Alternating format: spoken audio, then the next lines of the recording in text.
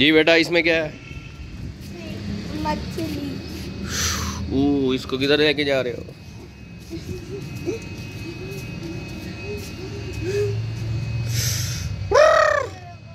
वाह।